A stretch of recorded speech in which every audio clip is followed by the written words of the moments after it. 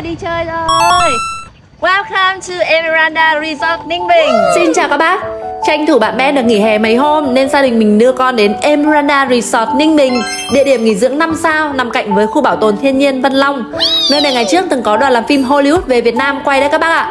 Chạy xe 1 giờ 30 phút là đã có mặt tại khu nghỉ dưỡng rồi. Ấn tượng đầu tiên với mình là không gian sảnh chính lễ tân ở đây rất to đẹp đồ sộ, được chạm trổ hoa văn tỉ mỉ từng chi tiết, kiểu giống như quần thể di tích cung đình thời xưa ấy. Cái hồ nước tràn nằm ngay sảnh lễ tân này này. Buổi chiều hoàng hôn buông xuống còn được ngắm cả mây núi Ninh Bình lãng mạn lắm. Mà lúc mình tới check in là đầu giờ chiều, Nên bé đang mải mê ngắm cá bơi thôi. Về nhận phòng mà tí ngã ngửa các bác ạ.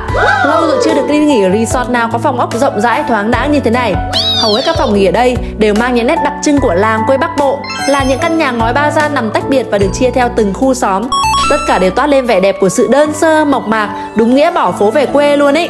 Phòng tắm cũng khá là rộng rãi và thoáng mát, có cả tắm đứng và tắm bồn, tắm ngoài trời nữa. Chưa gì ông con đã xà ngay vào đĩa bánh trên bàn rồi. Ăn xong rồi mình nghỉ chút chiều còn đi bơi Ben nhá. Ben à, cung chú chưa?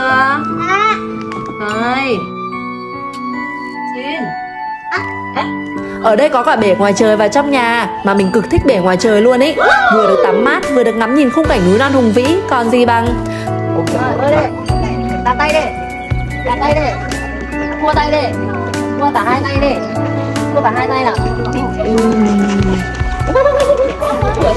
Tối đến đây thì khung cảnh cũng lung linh phết Có cả ca sĩ hát và chơi nhạc live nữa Cơ mà đói quá. Để lát nữa ăn tối xong gia đình mình quay lại đây nghe nhạc Ben nhá. Tối nay nhà mình dùng bữa tại nhà hàng Organics Đồ ăn khá ngon và vừa miệng. Ngon Ben Ăn ăn xong hai vợ chồng mình định nán lại nghe nhạc chút rồi mới về. Nhưng Ben có vẻ hơi mệt nên cả nhà về nghỉ sớm mai còn đi chơi tiếp.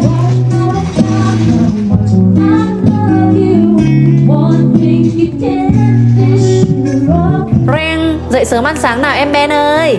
Buffet sáng mình dùng tại nhà hàng Sen. Phòng ăn cũng khá là rộng rãi và thoáng đáng Đồ ăn cũng có nhiều món đa dạng phết Mà mình thích nhất là món phở bò ở đây. Nước dùng có vị ngọt tự nhiên từ xương hầm các bác ạ.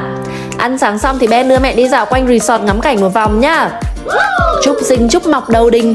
Em sinh, em đứng một mình cũng sinh Cơ mà giờ đi đâu cũng có đuôi bám theo rồi. Làm sao có được một nghìn tấm ảnh sống ảo như ngày trước bây giờ? À ở cạnh resort có hồ câu cá rất to và đẹp luôn ấy.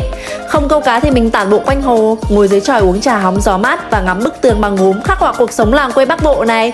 Còn nhiều chỗ nữa, Emeranda mà chưa khám phá hết. Để lần sau còn có cơ quay lại đây tiếp, các bác nhỉ? Giờ check out xong rồi lên xe về Hà Nội thôi. Bye bye.